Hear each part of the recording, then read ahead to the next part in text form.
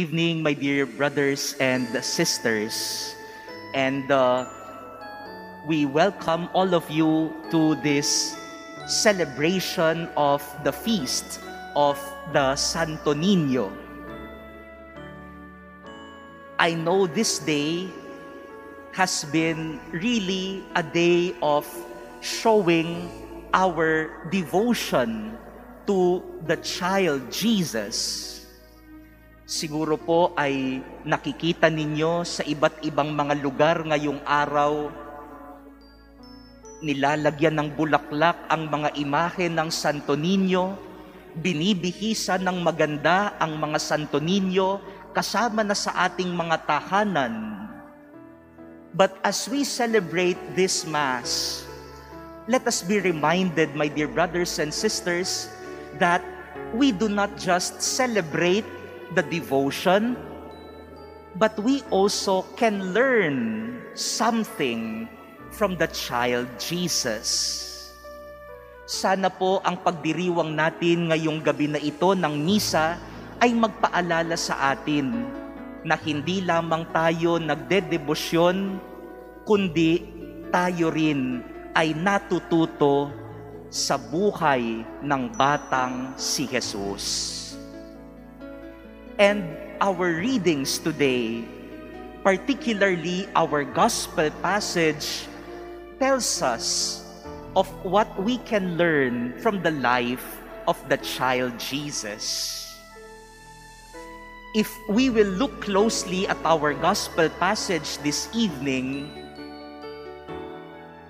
siguro po ay nare-recognize ninyo ang kwento na ito kapag nagdarasal tayo ng rosaryo. Pang ilang misteryo ba ito? Baka kung maaalala nyo, no? The fifth joyful mystery. I remember my mother, when we were praying the rosary, she would describe this mystery as the lost and finding of Jesus in the temple nawala si Jesus at natagpuan sa templo. But, my dear brothers and sisters, let us ask ourselves, was Jesus really lost? Talaga nga bang nawala si Jesus? If we will look at the gospel passage, when his parents, Mary and Joseph, were looking for Jesus in the temple, Jesus was not afraid. Nasubukan niyo na po bang mawala nung bata pa kayo? Ako ho, naranasan ko na yan. No? Nawala ako, namamasyal kami at nawala ako. At panay ang iyak ko. Bakit? Takot ka dahil nawawala ka. Pero nagulat si Maria at si Jose. Nung nakita nila si Jesus, hindi umiiyak. Hindi natatakot. In fact, when they found Jesus in the temple, Jesus was not afraid. He was even confident. What did he say to Mary and Joseph? He said, Why were you looking for me? Did you not know that I must be in my Father's house? It is as if telling Mary and Joseph, I am not afraid. I am in my Father's house. I am exactly where the Father wants me to be. What a confident child. A child full of trust in the Father. He was lost. In the eyes of his parents, he was a lost child. Kapag tatanungin siguro yung mga tao sa templo, baka ang sinasabi nila, ayan yung anak na nawawala, hinahanap ni Maria at ni Jose. In the eyes of the world, he was lost. But in his heart, he was not lost. He was in the house of the Father. Jesus is where the Father exactly wants him to be. Kaya-kaya nating sabihin yan. Anuman ang sitwasyon natin sa buhay, can we confidently say, I am exactly where the Father wants me to be right now? Kaya niyo po bang sabihin ngayon yan? Baka inip na inip na kayo sa homily ko, no? Introduction pa lang po yung homily ko, no? Baka antok na antok na at Father, no, gutom na kami, no? Bilisan mo na 'yan, no? Gusto ko nang mag-dinner. Father, bilisan mo na, no? Pagod na ako. Gusto ko lang madaliin na itong misa na ito. Can we learn from the child Jesus and tell the Father, I am in your house. I am here exactly where you want me to be at this moment if we have that confidence in the Father, if we have that trust in the Father, then whatever situation you may be in, you can always say, Father, I know this is exactly where you want me to be right now.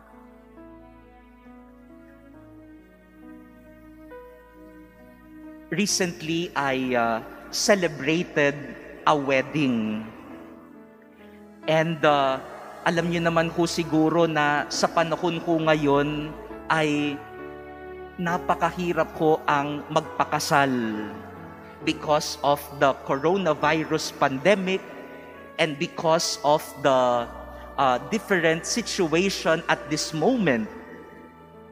Kaya siguro sa mga nagpapakasal ngayon, at magpapakasal pa lang, iniisip siguro ninyo, itutuloy kaya namin?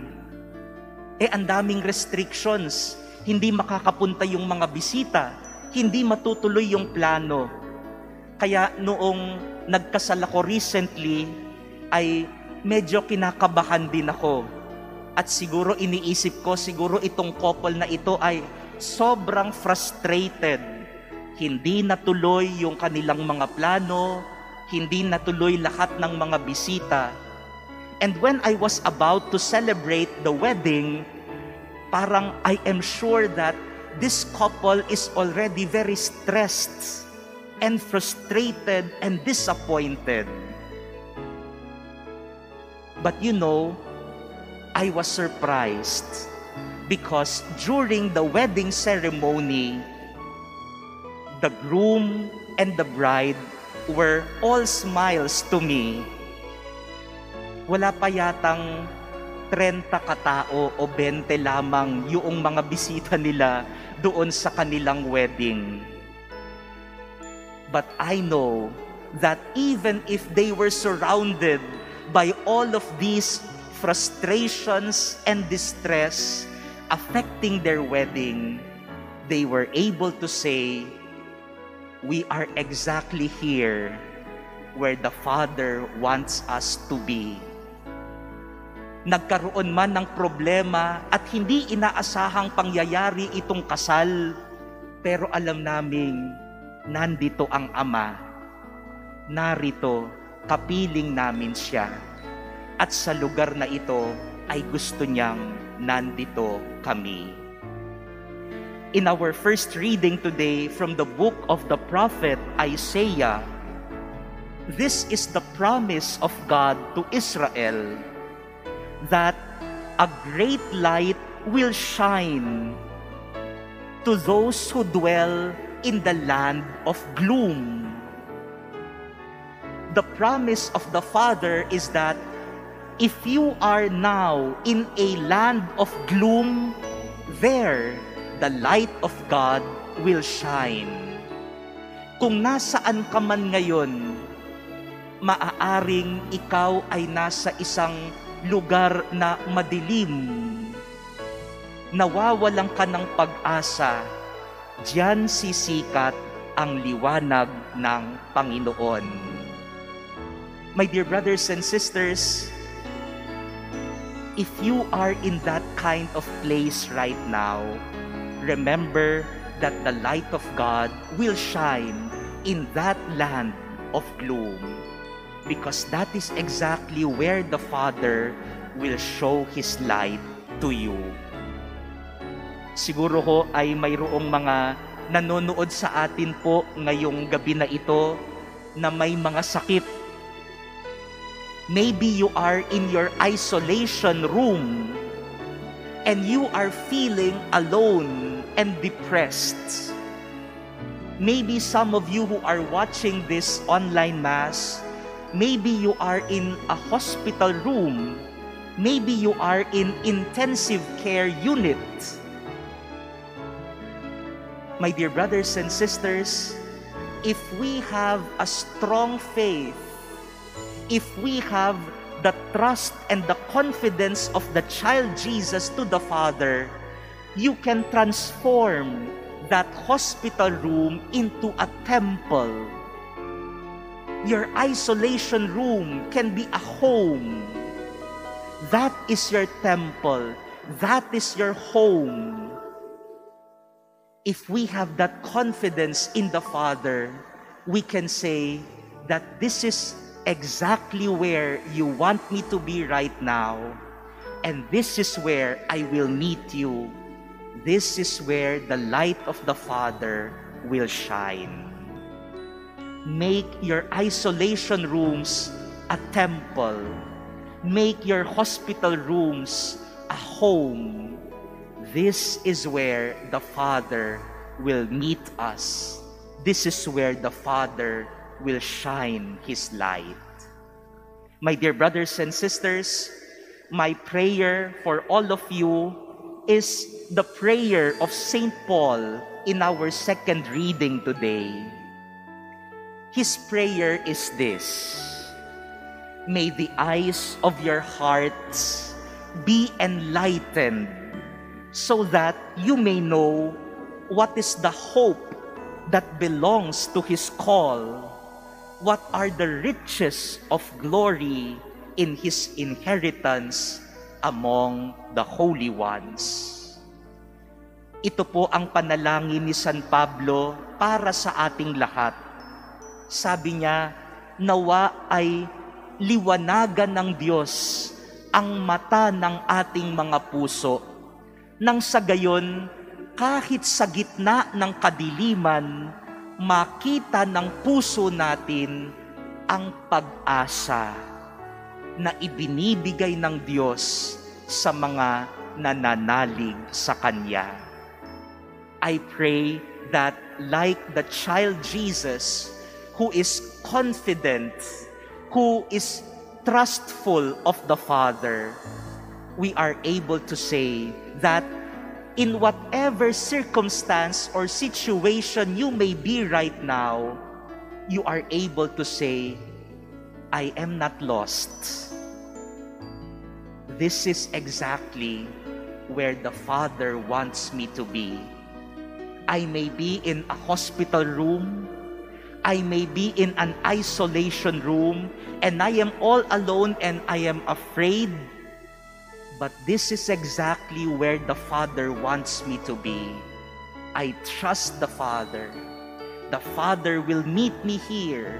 The Father will shine His light for me in this very place.